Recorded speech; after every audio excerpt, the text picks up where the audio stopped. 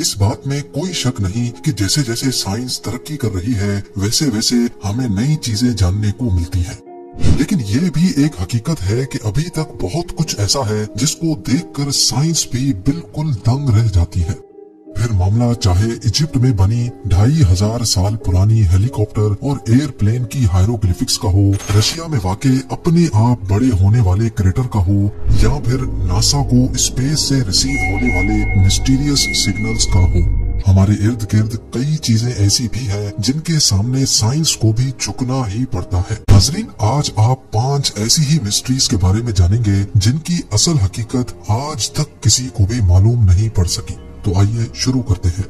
Number five outer space बेशुमार mysteries और लाजवाब सवालात से भरा हुआ है, जिनको जानना और समझना साइंस के लिए अभी तक एक इम्पॉसिबल टास्क है। पिछली कई सदियों से साइंस हमारी यूनिवर्स की सबसे बड़ी ताकत को समझने की कोशिश कर रही है, लेकिन ताहाल अभी तक नाकाम है, और वो ताकत है ग्रेविटी जिस तरह अर्थ की ग्रेविटी तमाम ऑब्जेक्ट्स को अपनी तरफ़ अट्रैक्ट करती है, इसी तरह सूरज की ग्रेविटी अर्थ समेत सोलर सिस्टम के दूसरे प्लैनेट्स को भी अपनी तरफ़ अट्रैक्ट करती है। लेकिन सूरज को किसकी ग्रेविटी अपनी जगह रहने पर मजबूर कर रही है? सूरज तो बहुत छोटी बात है, करोड़ों अरबों गैलेक्सीज और इन गैलेक्सीज के स्ट्रक्चर को कौन सी ग्रेविटी ने बना रखा है? कोई तो ऐसी चीज़ ज़रूर है जिसका मास इतना ज़्यादा है कि वो इन तमाम गैलेक्सीज को अपनी अपनी जगह पर मेंटेन किए हुए है। साइंसदानों ने इस ना दिखने वाली ग्रेविटी को डार्क मैटर का नाम दिया है। और ये मैटर हमारी यूनिवर्स के 85 परसेंट मास को कवर करता है। पर हैरत की बात यह है कि पिछली कई सदियों से इस पर स्टडी करने के बावजूद भी हम इतने ज़्यादा फैले हुए इस मैटर के बारे में ना कुछ जानते हैं और ना ही इसको हबल या फिर जेम्स वेब जैसे पावरफुल टेलीस्कोप से देख सकते हैं।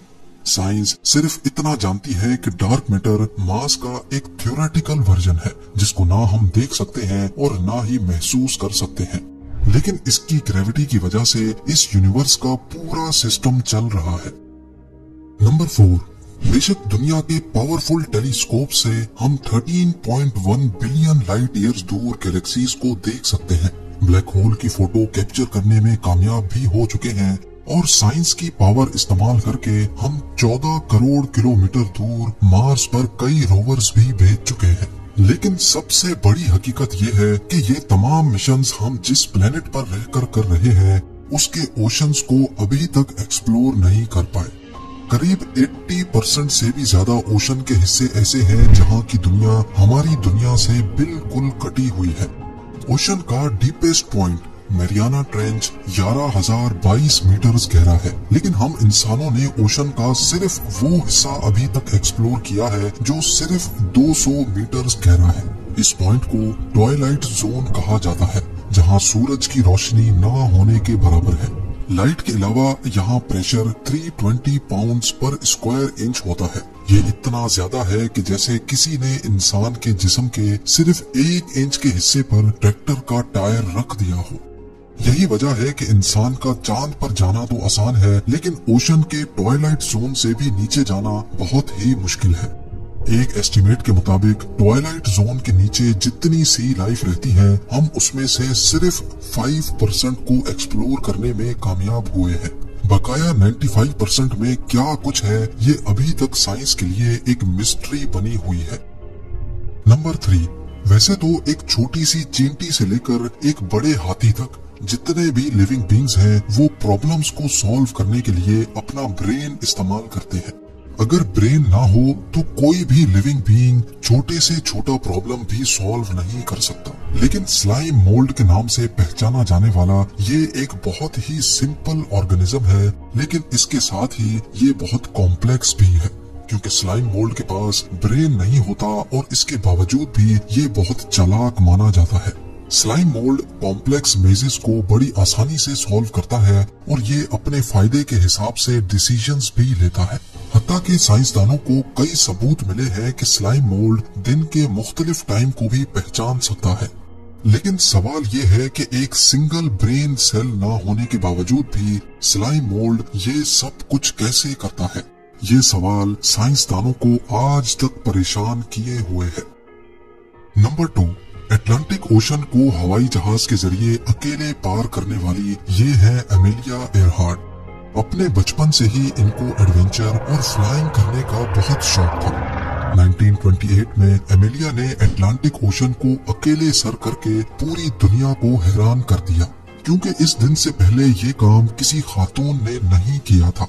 इसके बाद 1932 में हवाई से यूएस मेन लैंड तक अकेले प्लेन फ्लाई करके एमिलिया ने वो करके दिखाया जो आज से पहले कोई मेल पायलट भी नहीं कर पाया था। अपने शौक को पूरा करने के लिए और वर्ल्ड रिकॉर्ड बनाने के लिए एमेलिया ने पूरी दुनिया का गोल चक्कर काटने का प्लान बनाया। सेकेंड जुलाई 1937 को अपना वर्ल्ड रिकॉर्ड बनाने के दौरान एमेलिया और उसके साथ मौजूद नेविगेटर फ्रेड नोनान ने रिफ्यूलिंग के लिए पापा न्यू गिनी के शहर लाई में लैंड किया। लेकिन रिफ्यूलिंग के बाद जब दोबारा उन्होंने अपना सफ़र शुरू किया तो सेंट्रल पैसिफिक ओशन में हाउलैंड आइलैंड के करीब आकर इनका कनेक्शन कंट्रोल टावर से डिसकनेक्ट हो गया और उसके बाद आज तक उनका पता ना चल सका। कई सर्च पार्टीज़ ने पॉसिबल क्रैश लोकेशन पे कई महीनों तक सर्च किया, लेकिन ना एमिलिया मिली, ना फ्रेड और ना ही प्लेन का कोई छोटा सा भी पुर्जा मिला। इस वाक़े को आज 85 इयर्स गुजर चुके हैं। लेकिन मजाल है कि साइंसदानों और एक्सपर्ट्स को जर्रे जितना भी कोई एविडेंस मिला हो। और अब नंबर वन ये किसी आर्ट गैलरी की पेंटिंग नहीं, बल्कि ये चाइना में मौजूद जेंग जी नेशनल पार्क की रियल फोटोग्राफ है। 322 स्क्वायर किलोमीटर पे फैला ये नेशनल पार्क अपने रंगीन पहाड़ों की वजह से पूरी दुनिया में फ़ेमस है। रंगत से भरी इन खूबसूरत पहाड़ियों और रॉक फॉर्मेशन को देखकर ऐसा लगता है कि इनको शायद किसी ने कलर पेंट किया है। हकीकत में ये बिल्कुल नेचुरल है। लेकिन सवाल ये है कि आखिर ऐसा मुमकिन कैसे हुआ? कई साइंसदानों का मानना है कि पहाड़ों के कलरफुल होने की वजह यहाँ मौजूद सैंडस्टोन और मिनरल्स का मिक्सचर है, जो कई सालों से केमिकल रिएक्शन कर रहा है। लेकिन ऐसा इतफाक तो कई और जगहों पर भी होता है। तो ये कलरफुल फॉर्मेशन सिर्फ़ यहीं पर ही क्यों है? जो लोग इस थ्योरी को नहीं मानते, उनका कहना है कि अर्थ की टेक्टोनिक मूवमेंट्स की वजह से ये खूबसूरत फॉर्मेशन बनी है। कई सदियाँ गुजरने के बावजूद भी साइंस अभी तक इस दिलकश और हसीन पहाड़ों के पीछे का असल राज मालूम नहीं कर सकी।